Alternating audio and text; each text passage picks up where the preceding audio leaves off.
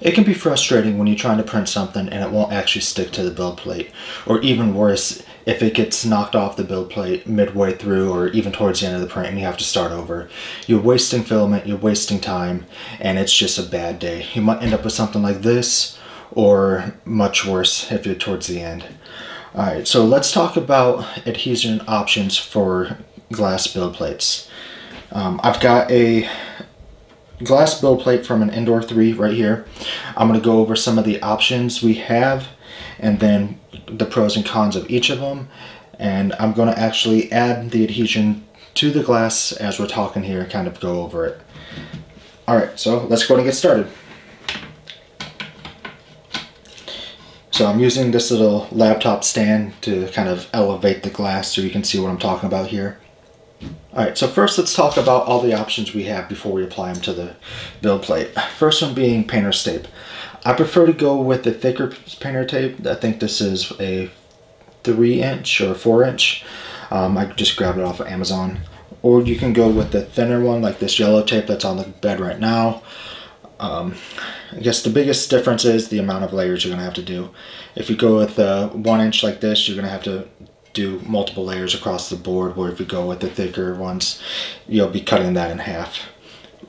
They would work the same though. Uh, next one's going to be your glue stick. Uh, I've always just used the Elmer's glue like this. You can use it's called like a purple glue stick. Uh, it's designed for uh, glass bed specifically. I have not used it but I know it, some people have and it's a decent option. I would just use this though. Much cheaper Third option is a specialty option, kind of like this bed weld. It's designed for 3D printers. Um, this has been great. Uh, I This is my go-to. Um, I think I've had this bottle for over six months now, feels almost new, so you're not really using much of it, and one coating will last you five to 10 prints, depending upon if you let it properly cool or not. Um, and then the last option, I don't have an example of here. It's going to be your hairspray. I know a lot of people who use hairspray because it's cheap, it's easy to use. I personally don't use it. I just don't like the mess it leaves and if you get it into any of the components you can have issues. So just know it is an option. I don't use it, but I know a lot of people who would recommend that even over some of these. So let's go ahead and start applying these to the different sections. I left the top half here open for the painter's tape and then we'll do one of the sections down here with the glue or the glue stick and then bed weld over here. Alright, now with the painter's tape you're going to want to make sure that it's on there evenly. Sorry, this is kind of a pain. and that you got a little overlap, but not an excessive one. Alright, so here, if you're only doing a small print, you'd only have to put it where that print is if you know for sure where it's going to be. If not, you'll have to do the entire surface. But here, we're going to put this here. Um, I'll end up just using two layers. Sorry about that. And when you put it on there, you can just bend it over and kind of rip it along the glass. That way you get an even surface. And you don't have to worry about it going below. Alright, so that's that one. Let's go ahead and add the next row here.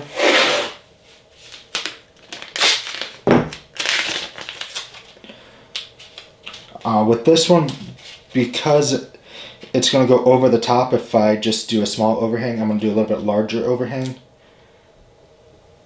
overlap, sorry.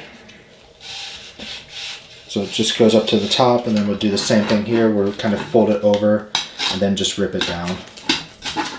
As long as it doesn't go underneath the build plate, you're fine. And that's all there is to it.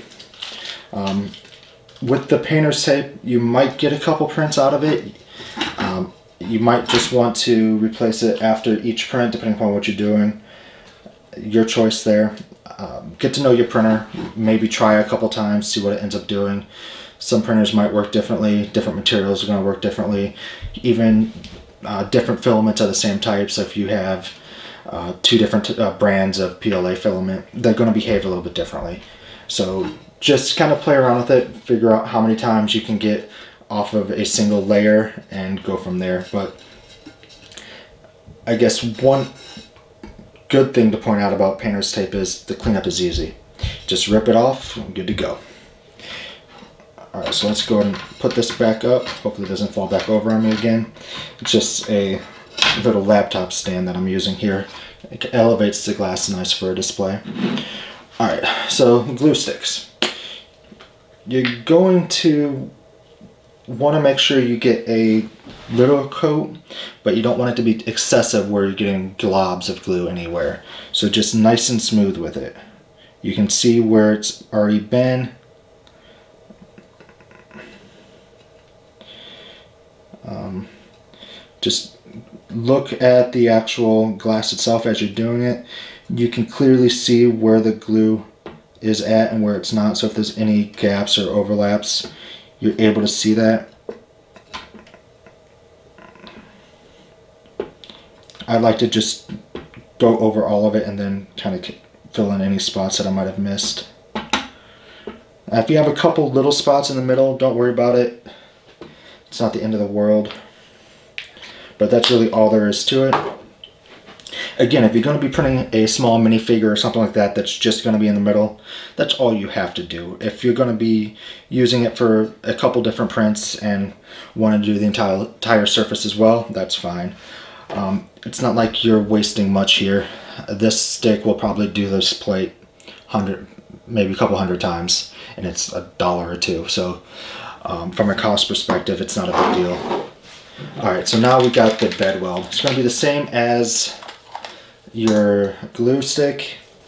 Um, you've got a foam surface at the top. You've got to push down on it to actually get uh, the liquid on the foam surface, and then you can spread it in. So kind of like that. You want to get a nice, smooth, light layer. You don't want it to be too thick. And then this actually builds up on the surface. So you're going to want to re-level the bed afterwards.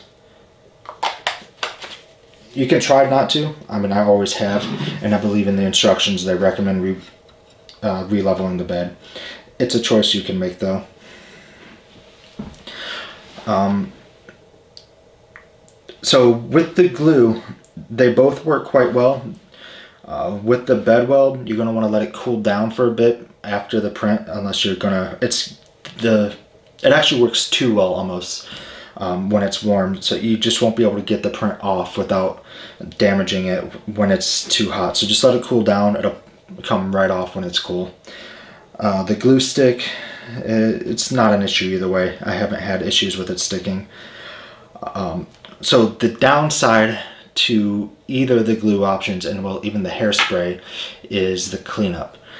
Uh, in between layers you can probably get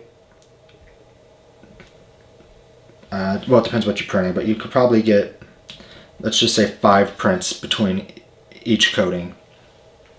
Um, when you're done with that coating, you're going to have to go wash the glass off, get back down to a base glass layer with all the glue removed, and then recoat it. So it's a little bit of a messy process, but it works well. So really the option's yours. Uh, you can also use some sort of BuildTak plate if you want it to something like this. I've stuck it to the glass. Um, it works okay. If you have a base um, aluminum build plate, you can also stick it directly to that if you don't want to use the glass. But then it is going away from the glass, so it's not really the same anymore. I just wanted to throw that out there as an option. Uh, this came with the filament, so it's might be worth playing around with, see if you like it or not. Um, different people have different experiences with the different types of build plate, so it's really your preference. I mean, we also have like the magnetic build plate here, kind of like a BuildTak material. Um, this is what came on the Ender 3 by default. So it's just what preference, it's really a preference. What works best for you? What do you like working with? Uh, just make sure that whatever you do, you have a good solid first layer. If that first base layer gets messed up, you're going to have issues for the rest of the print. Um, and it might even mess up at the end and then you're wasting all that filament and that time. Alright, so that covers build plate adhesion. If you have any questions, leave a comment below and I'll make sure to get back to you. Uh, make sure you smash that like button and subscribe. It'll really help this channel out. I appreciate that. And I'll talk to you next time. Thanks.